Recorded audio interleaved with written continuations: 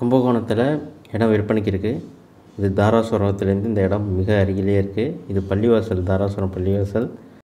இது Darasuram bus stop Darasuram Anna சிலை.